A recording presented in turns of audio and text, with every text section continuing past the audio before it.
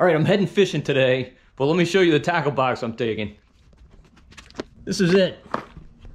Really not a tackle box, more just a sleeve. I've got some pop bars in there, some H&H spinners, an Echo 1.75, and that's about it. I'm heading on a river float today with Joe Lavigne. You've seen me do that many times before. It's always a blast. I absolutely love it. And now it's the fall, so it's been really, really good lately. Joe's been catching a whole bunch of fish, and that's the plan for today. As you can tell, it's already daylight.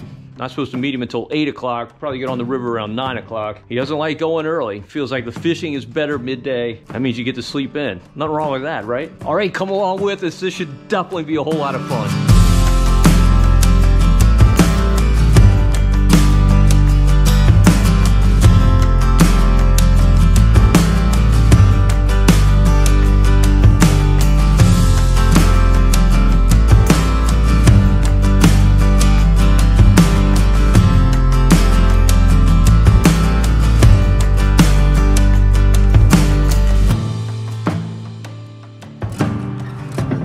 Right, Joe and I just put in to discover that unfortunately the river's dirty. It's kind of inexplicable. It hasn't rained here in really weeks, but uh, it's not the cleanest. Last time we did this exact same float, we had the same issue.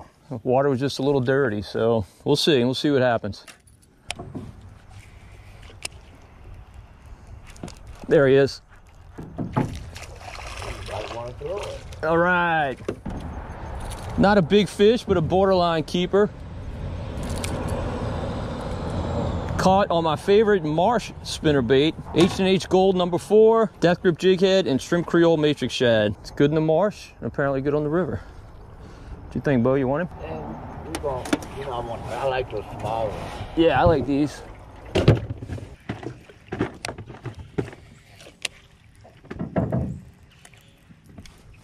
There he is. Bro, you might have to wait there.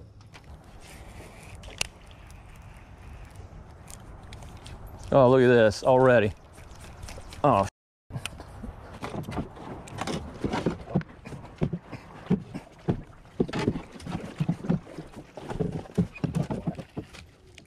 Yep, thank you, Bo.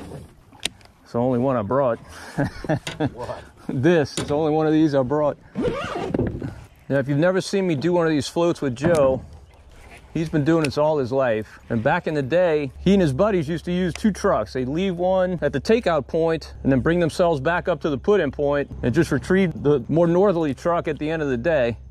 Those days are gone though. You can't leave your truck on side of the highways anymore because they'll get towed. So Joe has an extremely gracious wife who drops him off and picks him up. Got a little bit of overcast. I, I, the conditions ought to be good. I mean, Yeah.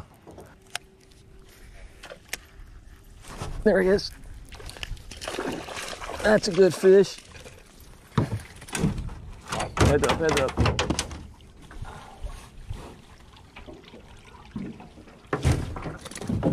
hey man, that's a good sign. You said you have one. I only have one. Yep.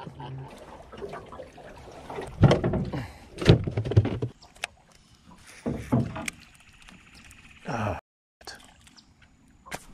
Oh, That's it. The only bait we caught into this one. Yep, it's gone.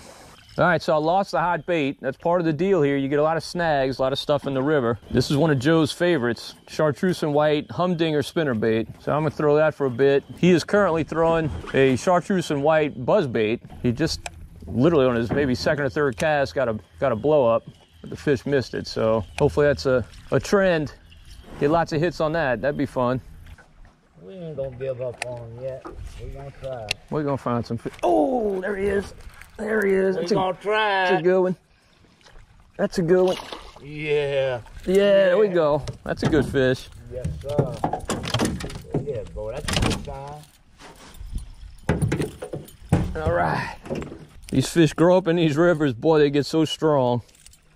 A fish this size fights twice as hard as a largemouth. So much fun. This episode of Marshman Masson is brought to you by Puglia Sporting Goods. Oh, you gotta be kidding. How did you miss it? Yeah, it was a good fish. He ripped the rod out of my hands. There's one. Look how you caught that fish there. Let him go.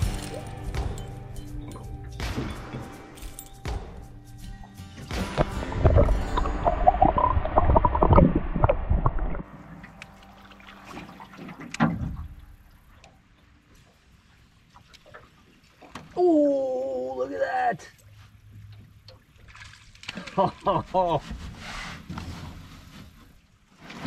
nice. Boy, was that worth the price of admission or what? That was awesome. Was that pretty? that was pretty. Right where he should have been, huh? And he was right where he should have been. You want me here, Bo? Yeah. I don't think me and you've ever made a trip without 20. No. Mm-mm. No. We haven't. Don't jinx us, Bo. Oh, man, shoot. He hit it right when he hit the water. Unbelievable. Oh, oh, there he is. That's a good hit, Bo. There you go. That's a good fish. Look at that, Bo. Yeah, baby. That's us. Yeah. All right. yeah. We needed that, Bo. I tell you what, that's the third hit I got in about five casts. Maybe they're turning the corner. Hey. That's beautiful. Isn't? Isn't that pretty? All right. Still amazing to me how these fish, how they fight. Just incredible. Oh, there he is. Go ahead, Bo. Man, man, what are you? You on a log? Oh, He's not even that big. He's acting like he's big. Bo. You think? Huh? Was he on the log? Yeah, he was on that log. Pretty big. Mhm. Go ahead, Bo. All right. Yeah, in front of that log, Bo. Oh, there he is. You called it. You called it. Make a good little large one. Yeah, largy. Look at that. Short, but you short enough.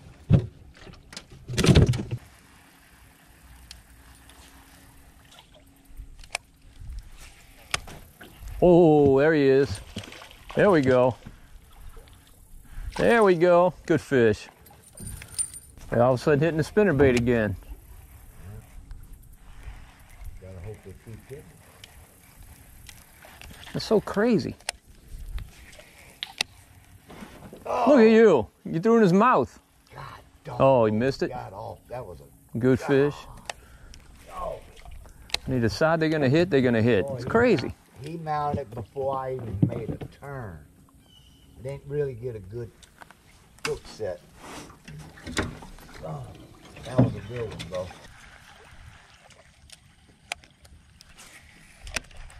You went back. Oh, Oh, oh, oh! He's hurting me. He's hurting me. get him, Joe. Oh. Nice. Good fish.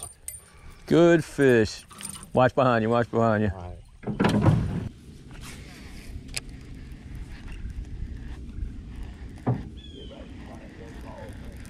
Yeah. all right. Oh. he hit me way out.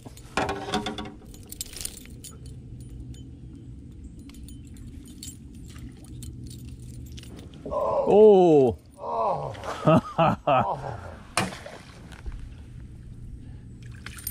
well, he stopped it, huh? He stopped it. Nice. Nice. Stopped it. All right.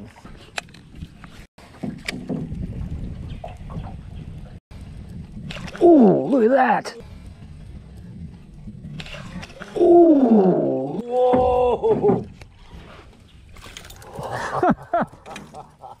Where'd you come from, boy? You're out in the middle of nothing. I'm not complaining, though. You hit it two or three times. Oh! You Got him? Oh! They turning on, Bo. They turning on. Nice. Oh man! All right. Now, Joe and I went about 20 minutes without a bite. That's kind of how this river fishing is. Sometimes it just inexplicably happens. Joe feels like the fish just turn off and then they turn on. Well, all of a sudden they have turned on and now we're catching them like crazy. The beauty of doing this, obviously it's a lot more fun catching fish, but even when you're not catching fish, it is still a blast. It's just so nice being on these rivers. They're beautiful. It's nice and cool. It's kind of like a nature tour that you get to catch fish on. Person around. Nope. Come on, baby. Don't quit. Oh, goodness. I can bring 'em to the side.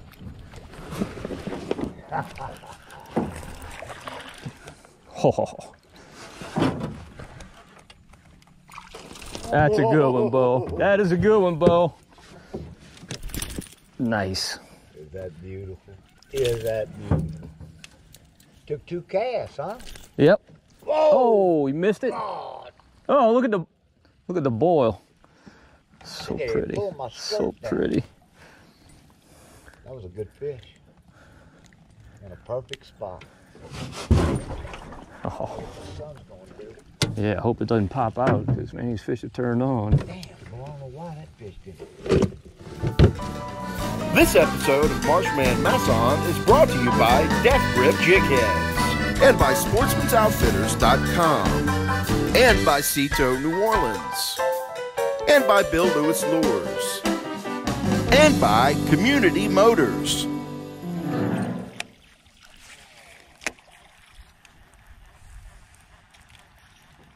Oh,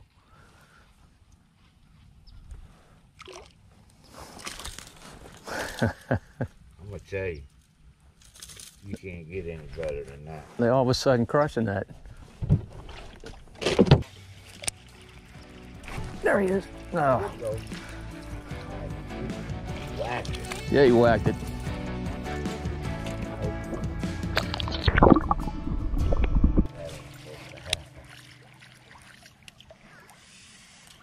Oh goodness, that's a beast.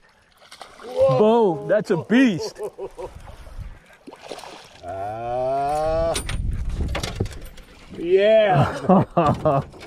Fish of the day right there. That's a nice one. And then that current right by that wood. That is a beautiful fish. Oh, beautiful fish. Nice.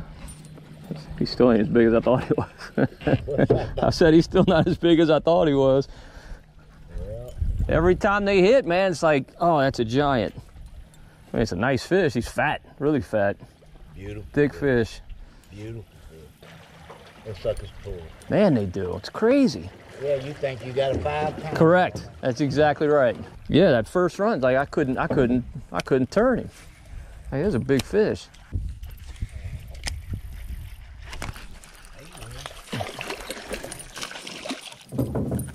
All right. Got a face full of skirt. I can't. All right, Joe and I were quite selective at what we kept today, and we just put our 20th fish in the boat. We still got another couple hours at least of this float, but take a look. Definitely an impressive haul. We got some really nice fish in there. I just took them out to count them to ensure we had the right amount, and I was surprised. We had some really, really nice fish in there. Now, the beauty of this is most days this river is unfishable because if you get a bunch of rain, like in the summertime, in the winter, whatever, you get these high river flows, it's just unfishable. You cannot catch fish here. So when it is right, you can keep a few fish without feeling bad about it. And look, the reality is most people can't do this just because of the logistics involved, it's definitely tough to do. So there's no reason to feel guilty at all about keeping a few fish. I know I certainly don't. And let me tell you, these spotted bass are really, really good to eat. I can't wait to get home. It's going to be a feast. Yeah, I think it was probably a little brim. A little perch. See, that's still another thing that ain't really happening. Oh, that's not a perch. That's a good fish. That's a big one.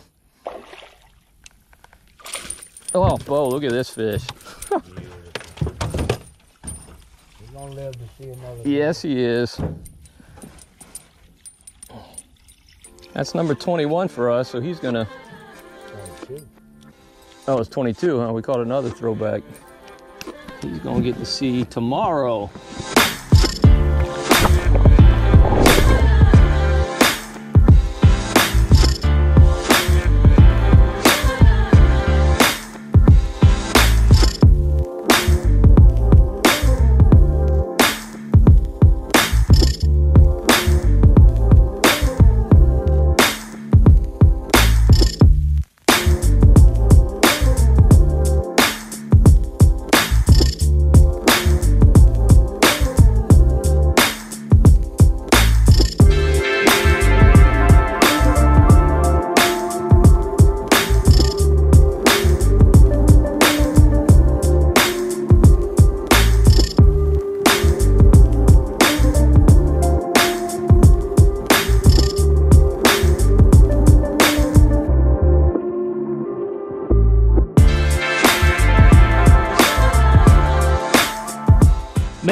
Trip. My expectations were high, but we actually exceeded them. You just cannot beat these rivers in the fall. It's just among my favorite things to do. And it definitely helps that I'm doing it with a guy who's been fishing those rivers all of his life and just knows them like the back of his hand. The guy calls his shot constantly. It's just really an impressive thing to see. Well, hopefully you enjoyed the video. If you did, please give it a thumbs up. Also subscribe to the Marshman Masson channel on YouTube. And don't forget to hit the notification bell to be notified whenever we post a new video. And until next time, if we don't see you in the marsh, we'll see you right here on Marshman Masson.